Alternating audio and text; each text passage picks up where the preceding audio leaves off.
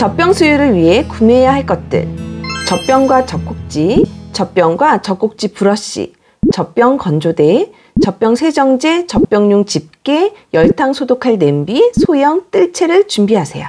젖병의 종류는 다양해요. 젖병과 젖꼭지의 종류는 매우 다양해서 내 아기에게 꼭 맞는 제품을 찾을 때까지 여러 번의 구매 실수를 겪을 수 있어요. 다른 엄마들의 사용 후기를 참고하고 내 유두와 비슷한 모양의 젖꼭지가 있는지 먼저 찾아보세요.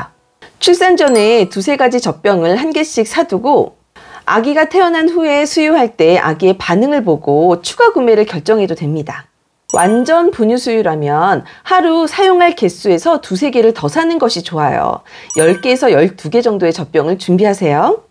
혼합 수유를 한다면 4개에서 6개 정도의 젖병이면 충분할 거예요. 160ml 되는 적은 용량의 젖병은 미리 구매해두고 생후 3개월 이후에는 240ml 정도 되는 큰 용량의 젖병을 구매하세요. 젖병의 종류는 슬림형 젖병, 기본형 젖병, 와이드형 젖병, 굽은형 젖병, 일회용 젖병, 공기 버블 제거형 젖병이 있어요. 슬림형 젖병은 미숙아, 조산아나 3kg 미만의 신생아, 입이 매우 작은 아기에게 적합합니다. 기본형 젖병은 가장 일반적인 젖병으로 젖병이 일자형이에요. 통기 시스템이 있는 제품도 있어요. 혼합 수유하는 아기에게 적합해요. 와이드형 젖병은 넓은 젖꼭지를 사용해서 아기가 엄마의 가슴처럼 느끼게 해줘요. 통기 시스템이 있는 제품도 있어요. 혼합 수유하는 아기에게 적합합니다. 구분형 젖병은 목 부분이 구부러져 있어서 엄마는 사용하기에 편하지만 아기가 젖병을 잡기는 불편해요. 다른 병에 분유를 타서 넣어야 하고 수유 중에 젖병을 돌릴 때 어려움이 있어요. 일회용 젖병은 여행 필수품이에요. 젖병 안에 일회용 백을 집어넣어서 사용할 수 있게 되어 있어요. 아기가 먹을 때 일회용 백이 쪼그라들어서 공기가 남지 않아요. 수유 후에 일회용 백을 버리면 됩니다. 통기 시스템 제품은 수유 중 가스 유입을 늘리는 공기 버블을 제거해주는 목적으로 만들어졌어요. 단점은 빨대 모양이기 때문에 안쪽까지 세척이 무척 힘들어요. 통기 시스템이 있는 젖병을 사용해도 아기의 입과 젖꼭지를 밀착하지 않으면 여전히 공기를 많이 먹어요. 젖꼭지의 종류도 다양해요. 젖꼭지를 선택할 때는 공기 유입이 적도록 젖병과 한 세트인 젖꼭지를 구매하세요. 호환해서 사용하면 젖꼭지의 길이가 젖병 뚜껑의 길이와 맞지 않아서 젖꼭지가 찌그러지면서 쉽게 손상될 수 있어요. 젖꼭지 손상이 일어나면 아기가 먹을 때 분유가 콸콸 나와요. 아기는 먹기 힘들어서 살에 걸리고 기침할 수 있기 때문에 젖병 겁으로 이어질 수 있습니다. 혼합 수유를 한다면 엄마의 유두 모양과 비슷한 젖꼭지를 선택하세요. 유두 혼동을 조금은 줄일 수 있어요. 엄마의 유두, 유륜의 형태와 비슷한 모양으로 구매하세요.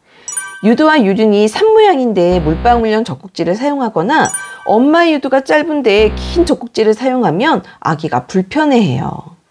젖꼭지의 형태는 슬림형, 기본형, 와이드형, 물방울형이 있습니다. 슬림형 젖꼭지는 미숙아, 조산아나 3kg 미만의 신생아, 입이 매우 작은 아기에게 적합해요. 입이 큰 아기가 사용하면 공기를 많이 먹을 수 있어요. 기본형 젖꼭지는 가장 일반적으로 많이 사용해요. 와이드형 젖꼭지는 엄마의 유방 형태로 만들어졌어요. 대체적으로 기본형 젖꼭지보다 말랑하고 짧고 넓어요. 혼합 수유를 하는 엄마의 유두와 유륜이 단단한 편이라면 아기가 젖병 수유를 더 좋아할 수 있으니까 그런 엄마들은 기본형을 쓰세요. 물방울형 젖꼭지는 혼합 수유를 하는 엄마의 유두 형태가 물방울형이라면 사용하기 적합해요. 물방울형 젖꼭지는 아기의 입안의 밀착도가 떨어지기 때문에 공기 유입이 많을 수는 있어요. 하지만 엄마 유두 형태가 물방울형이라면 아기는 그 젖꼭지를 잘 먹을 겁니다. 젖꼭지 단계 교체는 언제 할까요? 최근에 판매되는 젖꼭지들은 아기의 개월에 맞춰서 단계별로 제작되어 있어요. 신생아용 1에서 3개월용, 3에서 6개월, 6개월 이후 등 세네 단계가 있어요. 제조사들은 아기의 개월수에 따라 젖꼭지 단계를 교체하라고 안내하고 있어요. 그 안내에 따라 교체했는데 아기가 젖병으로 먹기 너무 힘들어 할 수 있어요. 교체하기 전에 현재 젖꼭지로 먹는 아기의 반응이 안정적인지 불안정적인지 먼저 살펴보세요. 불안정적인 반응은 먹기 힘들어하는 것, 40분 이상 오래 먹는 것, 먹는 동안 젖병 안 공기가 압착되어서 젖꼭지 모양이 찌그러지는 것을 말해요.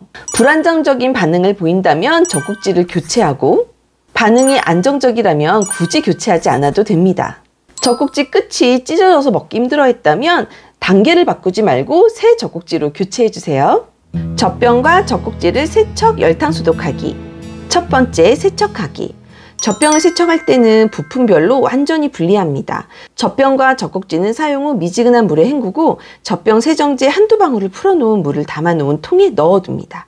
씻을 젖병이 모이면 브러쉬에 세정제를 묻혀 안쪽까지 돌려 닦아주세요. 젖꼭지는 분유와 모유의 유당이 빠르게 흡착되기 때문에 깨끗하게 닦아주어야 해요. 젖꼭지의 작은 구멍은 세척과 소독 중에 쉽게 찢어집니다. 손가락으로 구멍을 막고 젖꼭지 전용 브러쉬로 닦아주세요.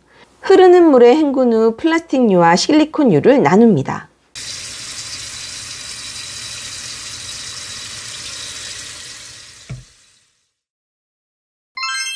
두 번째, 열탕 소독하기. 깨끗한 냄비에 젖병과 젖꼭지가 모두 잠길 정도의 물을 담고 100도씨로 끓이세요. 뜰 채에 젖꼭지를 담아서 끓고 있는 물에 30초 담궜다 뺍니다.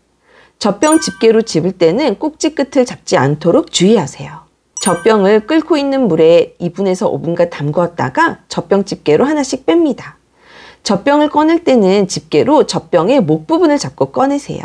너무 오래 열탕 소독을 하면 젖병과 젖꼭지에 변형이 올 수 있으니 주의하세요. 건조대에 걸어서 자연 건조시킵니다. 세 번째, 자외선 소독하기. 열탕 소독만 하는 것이 가장 좋아요. 열탕 소독 후에 자외선 소독하는 것은 가능합니다. 그러나 열탕 소독을 하지 않고 자외선 소독만 하는 것은 100% 살균이 되지 않아요. 자외선의 파장은 젖병의 경화 현상, 젖꼭지의 변형을 일으키기 때문에 미세한 균열이 생겨요. 자외선 소독을 자주 하면 젖병이 누렇게 번질되고 심할 때는 깨질 수 있습니다. 젖병 수유를 끊는 시기. 생후 15개월에서 18개월 사이에 젖병을 완전히 끊을 수 있도록 노력해 주세요. 생후 6개월에서 12개월 사이에 되도록이면 9개월 전에 컵과 빨대로 분유 주기를 시작하세요. 젖병 수유를 완전히 끊으라는 얘기가 아니에요. 대부분의 시간에 젖병으로 먹지만 분유 한 50ml 정도씩은 컵으로도 먹여보란 얘기예요. 일주일에 한두 번으로 시작했다가 또 일주일에 두세 번, 하루 이틀 이렇게 시도를 점점 늘려가세요. 그렇게 했을 때 아기는 자연스럽게 컵과 빨대에서도 분유가 나온다는 것을 알게 됩니다. 이러한 노력들이 없이는 돌이 지난 후에 젖병 끊기가 정말 쉽지가 않아요.